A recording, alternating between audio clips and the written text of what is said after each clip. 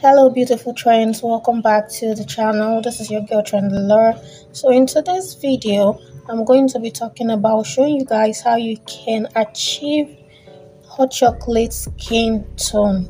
If you're a dark person and you want your skin just to be bright a bit or you want it to be hot chocolate then this video is for you. So if something you're interested in let's get right into this video. This thing i'm using you can get anywhere at the market or any you know cream store. It's just mixture of cream. Like i said it's a pro mixing stuff. So if you're new please subscribe to this channel. And if you're og thank you guys for always coming back. Please as you're watching this video give this video a huge thumbs up so that youtube can promote or push my video to a wider audience. Thank you guys so much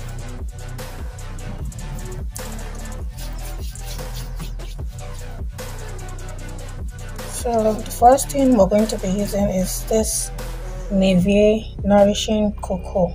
So this is a cocoa butter, um, 48 hours deep moisture care hydration intense. This is how it looks like for dry skin. Okay, so the reason we're using this is because is because we need moisture in our um, lotion. So forgive the noise, people are going to school, driving, I'm doing this in the morning. If you've not subscribed yet, please subscribe to the channel. So this is one.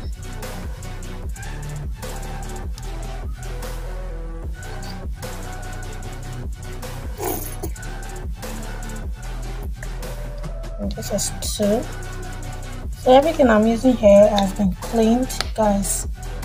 Okay? So the next thing i'm going to go in is with this precious. So i talked about this precious. I believe in the this um video the link in the description box for you guys to see. This this lotion is very good. If you've not gotten it for yourself or for your kids uh, please try and get it. It's very amazing So for this one, I'm going to be taking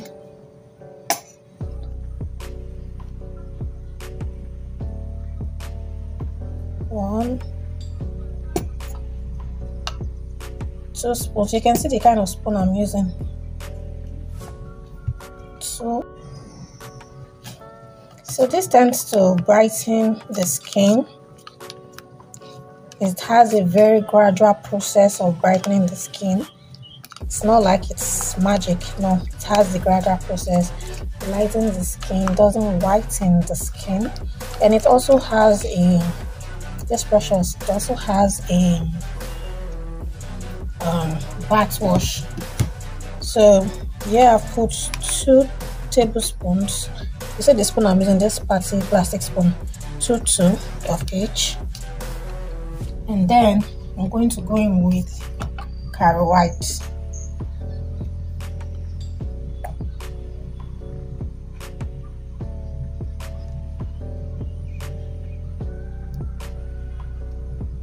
one and a half spoon. So because it's hot chocolate we don't want it to be too active in there. Okay? So the next thing i would have added is going to be one tablespoon of glycerin. I don't have glycerin in the house but i'm just you know sharing this video and all that. If you don't have you can use yours like this. So glycerin and the next i'm going to be adding if i had like if you want to take it up a notch you want it to really be active one um, serum or oil that is actually very good for hot chocolate when making hot chocolate um, lotion is Starclear. Starclear gives your skin this brownish brighter feel especially if you're a very dark person that Starclear is very good when it comes to if you're a very light person now one thing i noticed with Starclear is if you're a very light person you tend to be red. It's going to be nice but you tend to look red.